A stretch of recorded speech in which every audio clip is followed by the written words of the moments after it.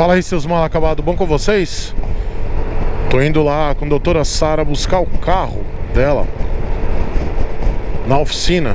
Bateram no carro dela na fila da McDonald's. Brincadeira? A pessoa tá lá de boas na fila, querendo comprar um burguinho. Aí vem uma pessoa, outra pessoa estúpida e bate no fundo do seu carro. Massa, né? Pois é. Foi isso que aconteceu.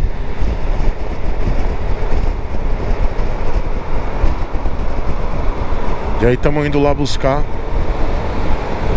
o carro dela. Um X-Max aí.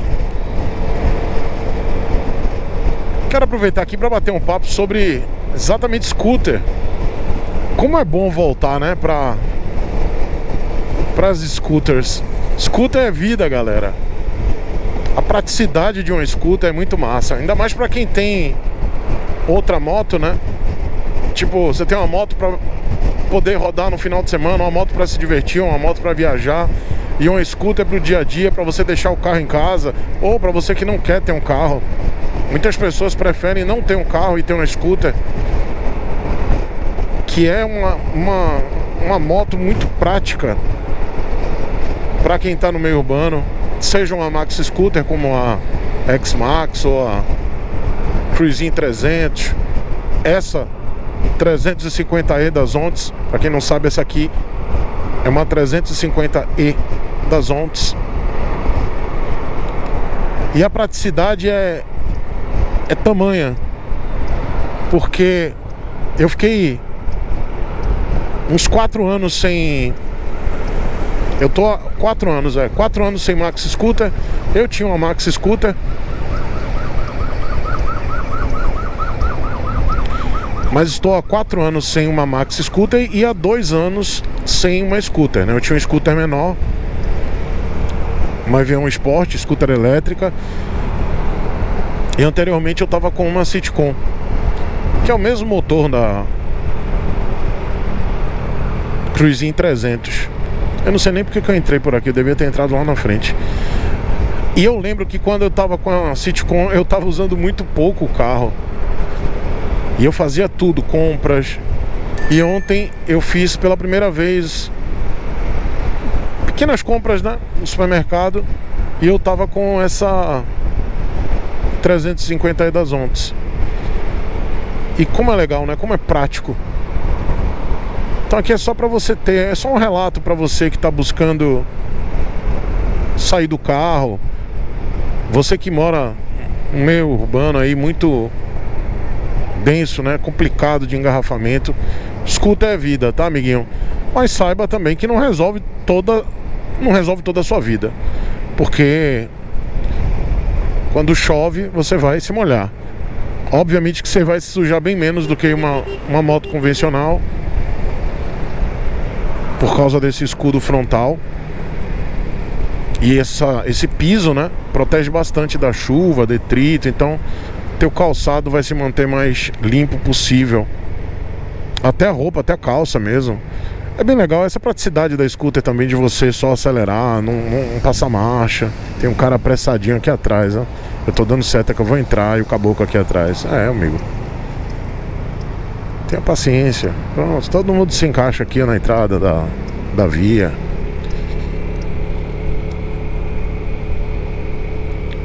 Só que essa aqui é um show à parte, né? Porque você tem bem mais torque, bem mais potência.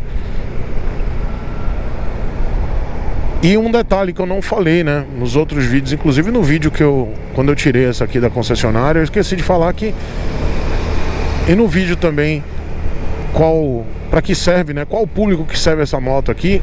O público alvo? Eu esqueci de comentar que essa scooter aqui dá para viajar tranquilamente.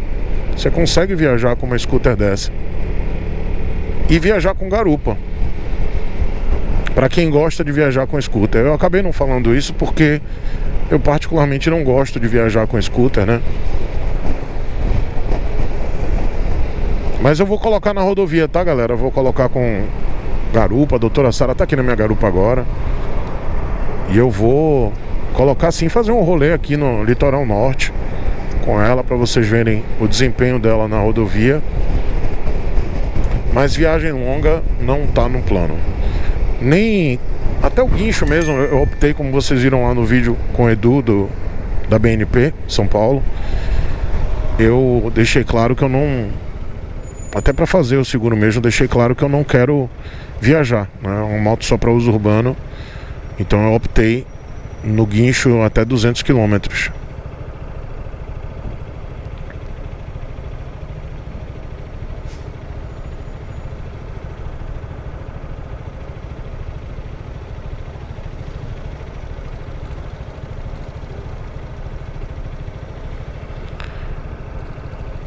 Mas se eu tivesse ainda CLT, indo pro, pro escritório todo dia, galera, isso aqui é uma maravilha, é uma roda.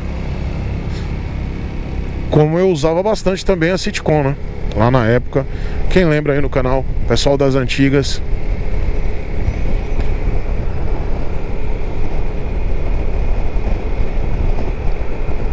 E eu quero mostrar muito conteúdo fazendo coisas normais, tá, gente? Motovlog mesmo, como vocês pediram. Vocês me pediram por tanto tempo para fazer voltar a fazer motovlog, agora tome motovlog todo dia. Depois não reclamem. O Ricardo disse. Ricardo, meu irmão Ricardo do canal Papo na Moto, disse que vai me esculhambar porque eu vou ficar hypando essa moto aqui, postando vídeo todo dia. a se lascar, Ricardo me aguente. É porque a galera dizendo, poxa, Chicão, nunca mais você fez motovlog, fica só no estúdio. Aí tem um trouxa ou outro que fala assim, tem uns caras, uns mal amados aí, invejoso para o baralho. Diz, ah, esse cara aí só fica no estúdio, com a bunda sentada na cadeira. Anda de moto uma vez por ano. e acha que sabe de tudo. aí quando eu posto um monte de motovlog em sequência. Os caras ficam, pô, os caras só ficam querendo rodar com essa moto. é assim, galera. Internet é desse jeito. Não adianta. Qualquer coisa que você faça não vai agradar. Não agrada. Qualquer coisa que você faça, galera. Qualquer coisa. Vai ter algum estúpido, algum idiota que vai te criticar. Então faça o que você quer, criador de conteúdo, você aí que é creator. Você que é motovlogger, faça o que você quiser. Faça o que der na telha, não se importe com o público não. Que a galera não sabe o que quer. e é isso, galera. Todo dia eu vou estar postando vídeo aqui. Todo dia. Tem mais duas motos chegando no canal. Duas. Pois é, vocês não queriam um motovlog? Não estavam falando, cadê o motovlog, Chicão? Vem mais duas. Vai ter um motovlog por dia, pelo menos. Imagine, hein? Vai ter vídeo de estúdio, claro, live. Lembrando as lives aqui do canal, de segunda a sexta, 22 horas, vai ter motovlog. Duas motos, hein? Quem, é, quem é que adivinha aí? Coloca aí no chat quais são as duas que vão chegar. Mas ó, scooter é vida, galera. Que massa, viu? Tô muito feliz de voltar às scooters. Tô planejando agora colocar é, nessa aqui o baú. Né? Eu quero colocar um. Eu acho que ainda não tem. Eu vou conversar com meu amigo Marcelão, Marcelo Raposo da Rosarte Serralheria. Obrigado. Marcelão Raposo da Rosarte Serralheria. Se ele desenvolve para 350 euros, se ele já desenvolveu.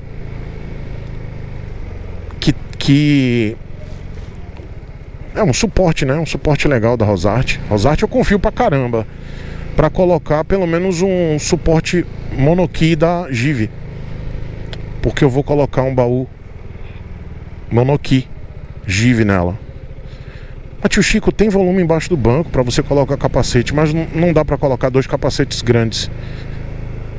Eu e a doutora Sara usamos capacete fechado, né? Full face, galera. Aqui embaixo do banco dá um capacete grande e dá para colocar um capacete pequeno.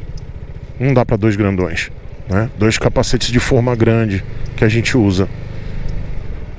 Mas tudo no seu tempo, né? Devagarzinho.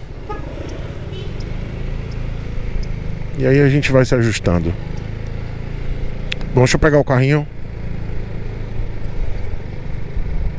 E a gente. Eita, não vi. e a gente volta depois, tá bom? Beijo pra vocês, deixa aí nos comentários qual o tipo de conteúdo que vocês querem ver aqui. Valeu, beijão.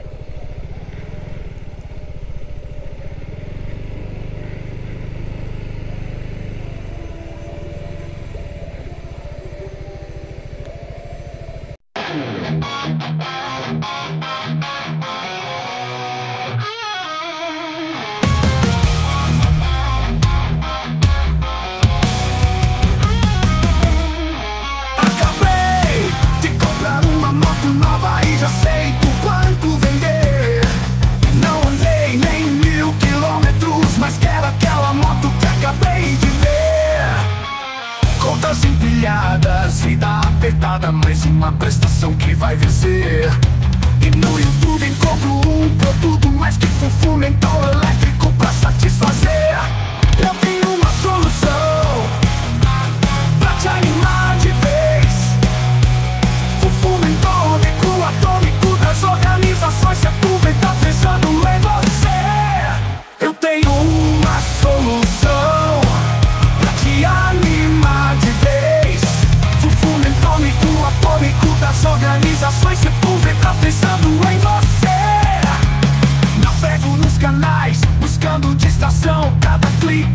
leave you.